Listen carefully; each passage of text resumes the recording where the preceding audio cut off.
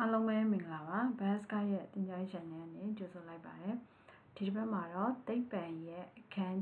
6 axis base နဲ့စားဆိုတဲ့အကြောင်းအရာလေးကိုတင်ကြားပေးတော့မှာဖြစ်ပါတယ်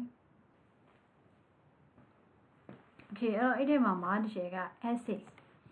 axis ဆိုတာကကျတော့ဒီလက်တင်စကားကနေစဉ်းသက်လာပြီးတော့ရှင်တဲ့အရာသာရှိတယ်လို့ဆိုလိုကြတယ် acid တွေကိုမျိုးစားခွဲခြားမယ်ဆိုလို့ရှိရင်နှစ်မျိုးရှိတယ် organic acid နဲ့ inorganic acid ဆိုပြီးတော့အမျိုးအစားနှစ်မျိုးခွဲခြားထားတယ်အဲ့တော့ organic acid acid တွေမှာရှင်းတဲ့ရတာရှိရလို့ဆိုလို့ရှိရင်ခြေတို့ organic acid တွေ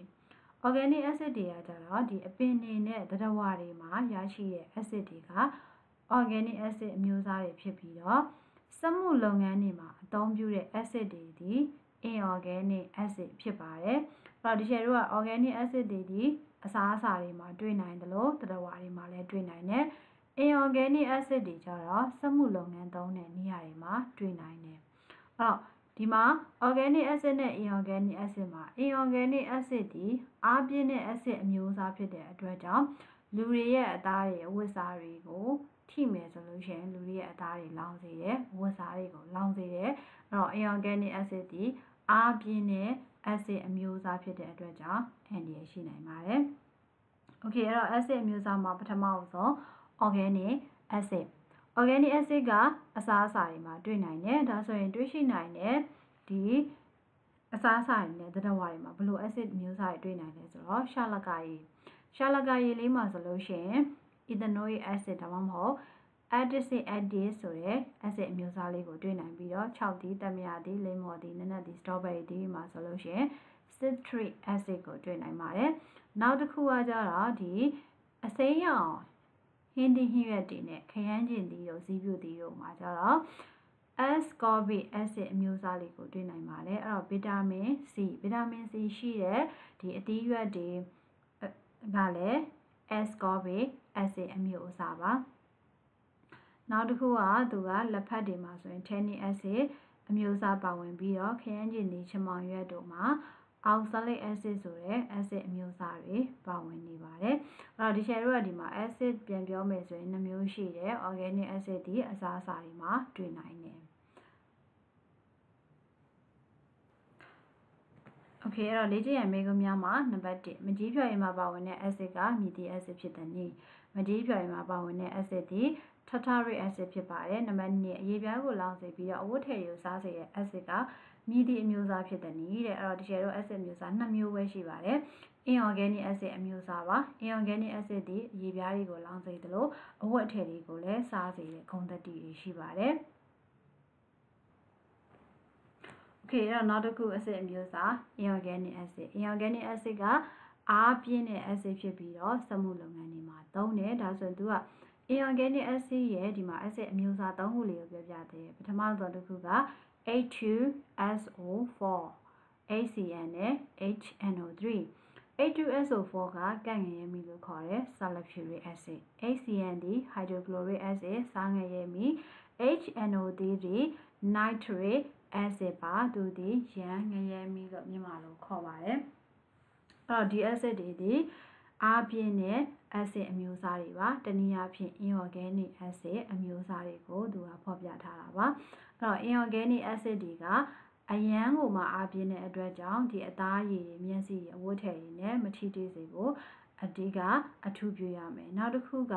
acid မှာခြင်တဲ့အရသာရှိတယ်ဆိုပြီးတော့ inorganic acid ဖြစ်တဲ့ဒီ acid အားပြင်းတဲ့ acid တွေကိုတွားပြီးတော့အရသာစမ်းကြည့်လို့မရပါဘူးအရသာစမ်းသပ်ခြင်းကိုလည်းပြုလုပ်လို့ မရဘူး Okay အဲ့တော့နောက်တစ်ခုကဒီ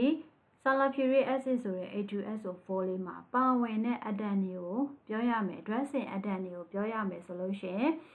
H2SO4 ဟုတ်ပြီเนาะအဲ့တော့ဘယ်နှစတွေမပြောဘဲနဲ့ဒီကျတော့ပါဝင်တဲ့ dressing အတန်ဆိုရင် H ပါမယ်နောက်တစ်ခုက S ပါမယ် O ပါမယ် H ဒီ hydrogen S ဒီ sulfur O ဒီ oxygen ဆိုတဲ့ H2SO4 မှာ dressing 3မျိုးပါဝင်နေတယ်နောက်တစ်ခုက HCN HCN မှာလည်း hydrochloric acid အဲ့ဒီမှာလည်း hydrogen ဆိုတဲ့ dressing atom လေးပါမယ်နောက်တစ်ခုက chlorine ဆိုတဲ့ dressing atom လေးပါမယ်အဲ့တော့ hydrochloric acid မှာ dressing atom အမျိုးအစားနှစ်ခုပါဝင်တယ် HNO3 ဆိုတဲ့ nitric acid လေးမှာ H ဆိုတဲ့ hydrogen ပါမယ်ပြီးတော့ရင် nitrogen ပါမယ် O ဆိုတဲ့ oxygen ပါမယ် dressing atom ၃မျိုးပေါင်းစပ်ထားပါတယ်ဒါဆိုရင်ဒီ share တို့ကဒီမှာပါတဲ့ inorganic acid တွေအဲ့ဒီ inorganic acid တွေမှာဒီ share တို့ dressing တွေခွဲကြည့်လိုက်တဲ့အခါမှာဒီမှာလဲ hydrogen ပါတယ် HCN ဆိုတဲ့ acid လေးမှာလည်း hydrogen ပါတယ်လို့ HNO3 ဆိုတဲ့ nitric acid လေးမှာလည်း hydrogen ပါနေတယ်အဲ့တော့ခြေတို့က acid အားလုံးမှာဒီ acid တွေ inorganic acid အားလုံးမှာ hydrogen dressing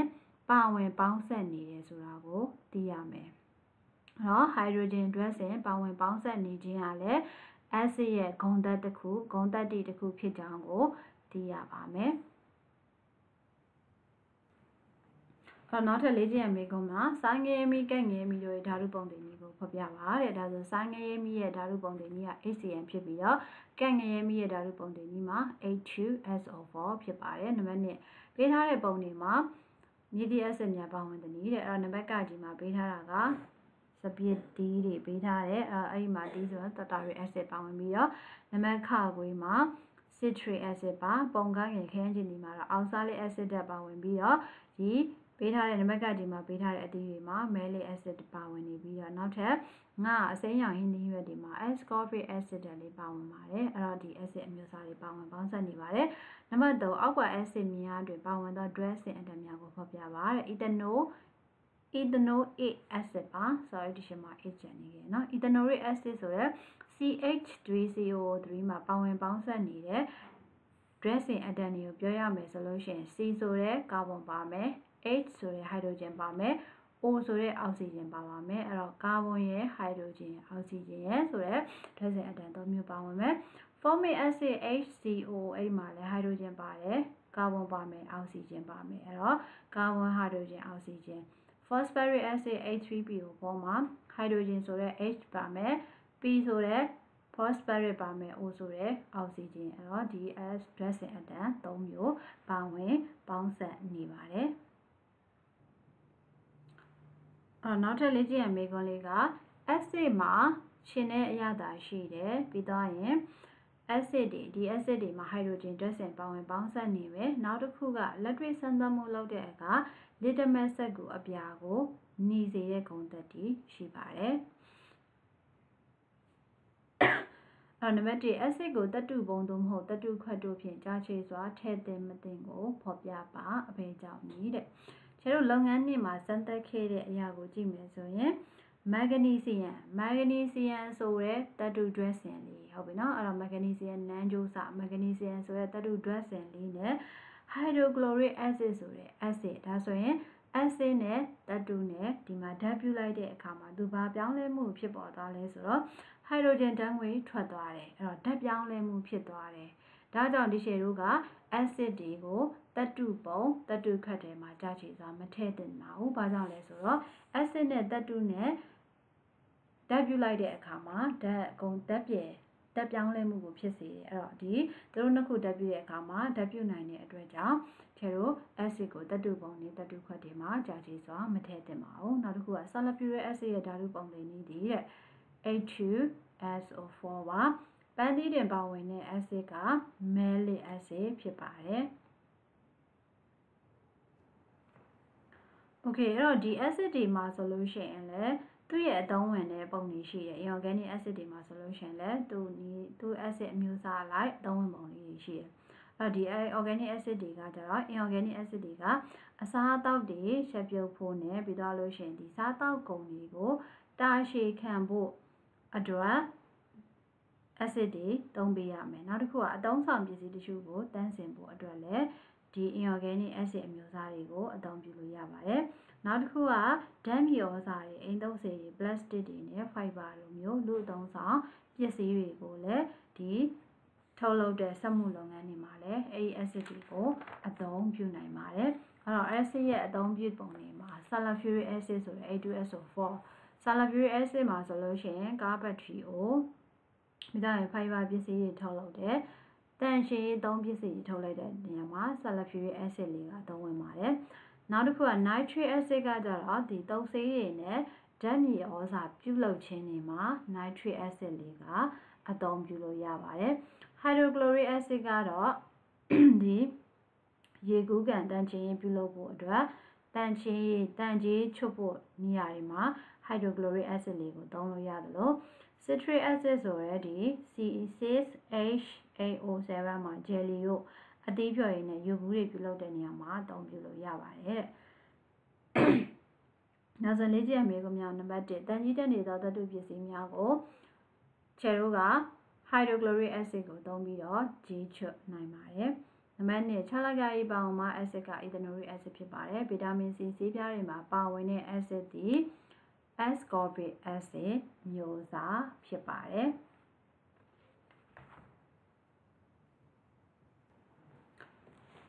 Okay တော့နောက်တစ်ခုက acid sorry base base နဲ့ alkali များဒီမှာဒီရှယ်တို့က acid နဲ့ base နဲ့ဓာတ်ပြုလိုက်တဲ့အခါဘာတွေရရှိမလဲဆိုတော့စားရရှိပါတယ်။ဒါလို့စားနဲ့ရေနဲ့ရရှိမယ် နော် acid နဲ့ base ကို ဓာတ်ပြုလိုက်တဲ့အခါမှာစားကိုရရှိတယ်အဲ့တော့အဲ့ဒီ base ဆိုတာဘာတွေကိုပြောရလဲဆိုတော့တက်တူအောက်ဆိုက်တွေရဲ့ဓာတ်ပေါင်းတချို့ကို base လို့ခေါ်တာပါတက်တူအောက်ဆိုက်အားလုံးတော့မဟုတ်ပါဘူးတချို့တက်တူအောက်ဆိုက်တွေရဲ့ဓာတ်ပေါင်းတွေက base ပါအဲ့တော့အဲ့ဒီတက်တူအောက်ဆိုက်ဆိုတဲ့ဓာတ်ပေါင်းတွေကိုဘယ်ကနေရနိုင်လဲဆိုတော့တက်တူ dressing တစ်ခုခုနဲ့အောက်ဆီဂျင်နဲ့ဓာတ်ပြုခြင်းကနေပြီးတော့တက်တူ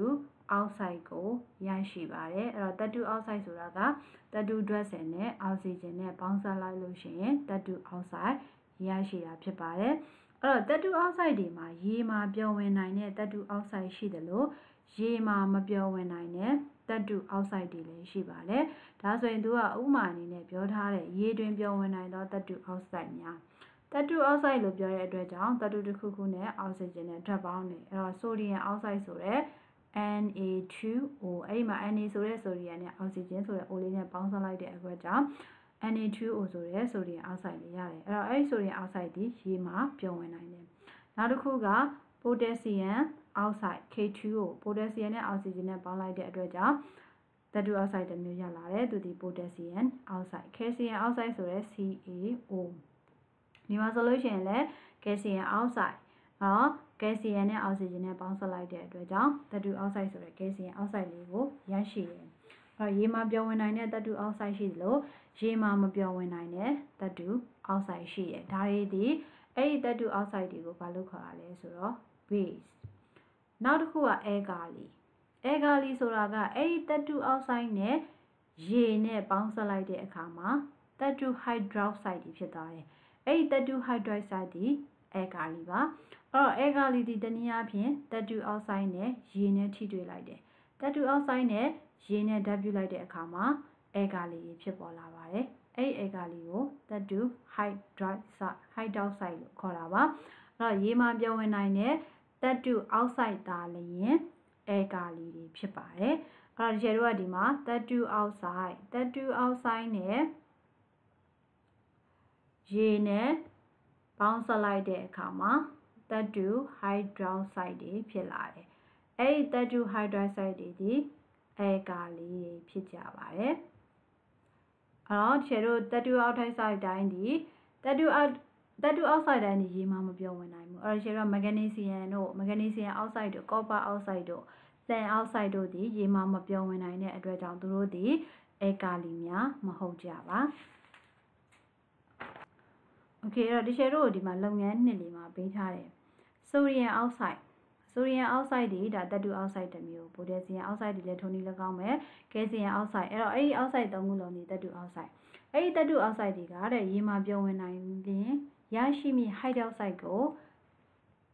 စာသားဓာတ်ပြုညီမျှခြင်းနဲ့ဖော်ပြပြီးတော့ဆွေးနွေးပါတဲ့ဒါဆိုဒီရှယ်တို့ကဓာတ်ပြုညီမျှခြင်းရေးရမယ်ဆိုရင်ဆိုဒီယမ်အောက်ဆိုက်ဆိုတဲ့သတ္တုအောက်ဆိုက်တွေကရေဝင်မှာရေမှာပြောဝင်နိုင်တယ်အဲ့တော့ဆိုဒီယမ်အောက်ဆိုက် ဆိုဒီယမ်အောက်ဆိုက်ဒီရေမှာပြောဝင်နိုင်တဲ့အတွက်ကြောင့်ရေနဲ့ဓာတ်ပြုနိုင်တယ်။ဘာတွေရရှိလာလဲဆိုတော့သတ္တုဟိုက်ဒရော့ဆိုက်သတ္တုဒီဆိုဒီယမ်ဆိုတဲ့သတ္တုလေးဆိုတော့ဆိုဒီယမ်ဟ hydroxide တွေရရှိပါတယ်ဆိုဒီယမ် hydroxide အဲ့တော့ဒီတော့ဒီမှာဓာတ်ပုံသင်ကြီးရရမယ်ဆိုရင်ဆိုဒီယမ်အောက်ဆိုက်ဒီ Na2O ရေဒီ H2O အဲ့တော့ဆိုဒီယမ်ဟိုက်ဒရော့ဆိုက်ဒီဆိုဒီယမ်ဒီ Na ဟိုက်ဒရော့ဒီ OH NaOH ဒီမှာဒီချယ်တို့ရဲ့ညီမျှခြင်းဒီ equation ဒီ equation ရဲ့ဘက်ဘက်ဒီဘက်မှာမညီတဲ့အတွက်ကြောင့်ညှိရမယ်အဲ့တော့ဒီမှာ hydrogen ကနှစ်ဆဒီမှာတစ်ဆပဲရှိတယ် nitrogen ဒီမှာနှစ်ဆဒီမှာတစ်ဆပဲရှိတယ် oxygen ဒီမှာတစ်ဆဒီမှာတစ်ဆနှစ်ဆဆိုတော့ဒီချယ်တို့ဒီအရှိမနည်းနည်းမြောက်လိုက်ရင်ဒါဒီ equation ညီသွားပြီ နောက်တစ်ခုက potassium oxide အဲ့တော့ဒီ share ဒီမှာစာသားနဲ့မြည်ပြတော့ potassium oxide နဲ့ရေနဲ့ပေါင်းမယ်ဆိုလို့ရှိရင် potassium hydroxide ရရှိမယ်အဲ့တော့ potassium นี่ K2O ရေနဲ့ပေါင်းစပ်လိုက်မယ်ရေနဲ့ထွေးထွေးလိုက်တဲ့အခါမှာ potassium hydroxide ရလာမယ် potassium นี่ K hydroxide ဒီ OH KOH ထိုနည်း၎င်းမဲ့ညီမျှချင်းညီရမယ်ဆိုတော့2နဲ့ညရုံပဲ ကယ်လ်ဆီယမ်အောက်ဆိုက်ဒီ CaO H2 ကိုရေနဲ့ထိတွေ့မယ်ဆိုတော့ကယ်လ်ဆီယမ် hydroxide ရရှိမယ် CaOH2 Okay အဲ့တော့ဒါလေးဒီလုပ်ငန်းနှစ်မှာဖြည့်ပေးရမှာပါ Okay အဲ့တော့အဲ့ဒီမှာဆိုလို့ရှိရင်ခြေကိုလေ့ကျင့်ရမေးခွန်းမှာနံပါတ်1ကဓာတ်ခဲကွမ်းတွေအသုံးများသောအေကာလီ2မျိုးဤအမည်နဲ့ဓာတုပုံသင်နည်းကိုဖော်ပြပါတဲ့ အေကာလီအေကာလီဆိုတာ hydroxide ကိုပြောတာပါတတူတတူအောက်ဆိုက်နဲ့ရေနဲ့ပေါင်းစပ်လိုက်ခြင်းကနေရရှိလာတဲ့တတူ hydroxide အဲ့တော့အဲ့ဒါကိုအေကာလီလို့ခေါ်တာပါအဲ့တော့ဒီမှာကြည့်ခဲ့ရေးပေးထားပါတယ်ဆိုဒီဟိုက်ဒရိုက်ဆိုက်နဲ့အမိုနီယမ်ဟိုက်ဒရိုက်ဆိုက်ဒီဓာတုပုံသင်နည်းအဲ့တော့အဲ့ဟာကဓာတ်ခွဲခန်းမှာအသုံးများတယ်ဓာတုပုံသင်နည်းနှစ်ခုပါနံပါတ်2ကအချင်းတက်အက်ဆစ်ပေါက်နေသောမြေများကိုတဲ့အချင်းတက်ရော့ကြစေရင်ဘယ်လိုလုပ်ရမလဲဆိုတော့ဒီအချင်းတက်ပေါက်နေတဲ့မြေတွေကိုအချင်းတက်ရော့ကြဖို့မဖောက်ထုံးဆိုတာလေးကိုအသုံးပြုရမယ် ဒီ acid ဓာတ်တွေက alkali ဓာတ်ရှိတဲ့မဖောက်ထုံးတဲ့ဓာတ်ပြုလိုက်တဲ့အခါမှာဓာတ်ပြည့်သွားတဲ့အတွက်ကြောင့်ဒီမြေတွေရဲ့အချင်းတက်ကိုရော့ကြဖို့ဆိုမဖောက်ထုံးကိုအသုံးပြုရမယ်အဲ့တော့ဒီမှာမဖောက်ထုံးဆိုလို့ဖောက်ထုံးလေးရှိအဲ့တော့ဖောက်ထုံးကိုကြတော့ acid ဓာတ်ရှိတဲ့မြေတွေကို acid ဓာတ်ရောကြစေရန်ဖောက်ထုံးတွေကိုအသုံးပြုလို့ရပါတယ်။ Okay နောက်တစ်ခုက pH pH scale pH scale မှာ pH scale 3ညနေပြီးတော့14အထိရှိပါတယ်။အဲ့မှာမှာ pH scale 7 pH level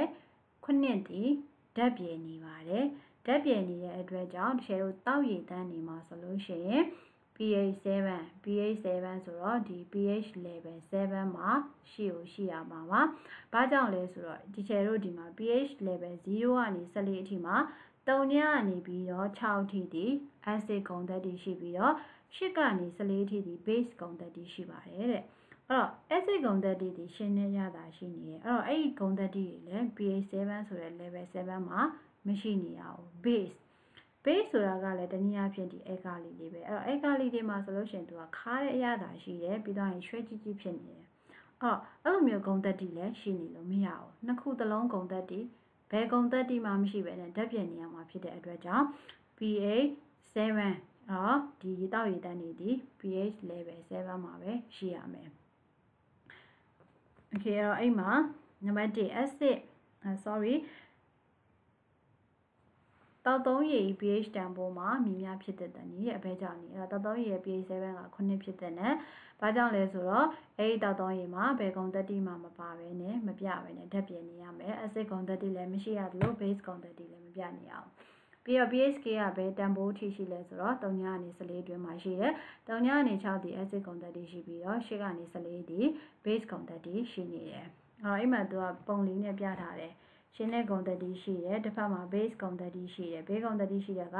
ခါရရတာလေးရှိမယ်ရွှဲကြည့်ကြည့်ဖြစ်နေမယ် number 3 pH tempo 4ရှိတော့ပြောရင်းနဲ့ pH tempo 1ရှိတဲ့ပြောရင်းဘယ်သူက acid ဂုံတတိများမလဲတဲ့ဆိုတော့ဒီလို pH 1 tempo 1ရှိတဲ့ပြောရင်းက acid ဂုံတတိပို့ပြီးတော့မြင့်ပါတယ် Okay နောက်တစ်ခုကစာအော်ဒီမှာတင်းတီးသောစာနှမျိုးရဲ့အမည်ကိုဖော်ပြပါ အိစာမှာပါဝင်ပေါင်းစပ်နေသော dressing အတက်များကိုလည်းဖော်ပြပါတဲ့ဒါဆိုဒီရှက်ဒီမှာ sodium chloride နဲ့ sodium hydrogen carbonate ဆိုတဲ့စာနှမျိုးကိုဖော်ပြထားပါတယ် sodium chloride မှာဆိုရင် NaCN Na ဆိုတဲ့ sodium နဲ့ CN ဆိုတဲ့ chlorine acid အတန်နေပါဝင်နေပါတယ်။ sodium hydrogen carbonate မှာကျတော့ sodium ဆိုတဲ့ N ရဲ့ carbon ရဲ့ oxygen ဆိုတဲ့ အတန်နေပါဝင်ပေါင်းစပ်နေတယ်။နောက်တစ်ခုက sodium chloride စားမှာ acid သို့မဟုတ် base ကုန်သက်တည်ရှိမရှိကိုမြည်သိုးစမ်းသပ်သိရှိနိုင်မည်တဲ့။အဲ့တော့ဒီကျတော့ sodium chloride ဆိုတဲ့စားမှာအိတ်စာကိုအရေးဖြော်ပြီးတော့ litmus ဆက်ကိုအညီအပြားရည်နဲ့စမ်းသပ်လိုက်တဲ့အခါမှာဒီ litmus ဆက်ကိုအညီရဲ့အရာပြောင်းလဲခြင်းမရှိတဲ့အတွက်ကြောင့်ဒီ sodium chloride ဆိုတဲ့စားမှာ acid ဂုဏ်သတ္တိလည်းမရှိသလို base ဂုဏ်သတ္တိလည်းမရှိပါဘူး။ ကဲအဲ့တော့နောက်ဆုံးတစ်ခုကပျော်ရည်တစ်ခုရဲ့ပျော်ရည်တစ်ခုတည်တဲ့ litmus ဆက်ကိုအညီပြားတို့အရောင်ကိုပြောင်းလဲစေခြင်းမှာအဘဲကြောင့်နည်းဆိုတော့ဒီပျော်ရည်တစ်ခုက litmus ဆက်ကိုအညီပြားရဲ့အရောင်ကိုပြောင်းလဲစေခြင်းက acid နဲ့ base ဂုဏ်သတ္တိတွေဓာတ်ပြည့်နေတဲ့အတွက်ကြောင့်ဖြစ်ပါတယ်။ Okay နံပါတ်2ကကျတော့ potassium chloride စားရရှိသည့်ဓာတ်ပြုခြင်းကိုစားသားဓာတ်ပြုခြင်းကြီးမြတ်ခြင်းနဲ့ဖော်ပြပါတဲ့။ဒါဆိုဒီရှယ်တို့ဒီမှာ potassium hydroxide နဲ့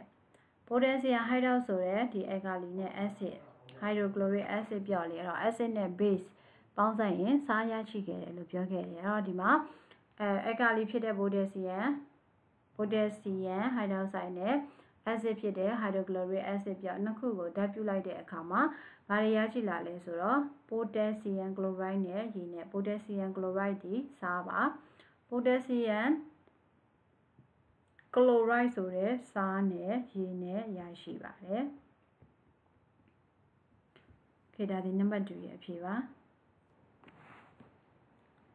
ခေပါအဲ့တော့ဒီချက်မှာကျန်တဲ့မိကုန်းတွေကိုကျတော့ဇွန်တိုင်းမှာပြန်ပြီးတော့ဖြည့်ပေးပါမယ်။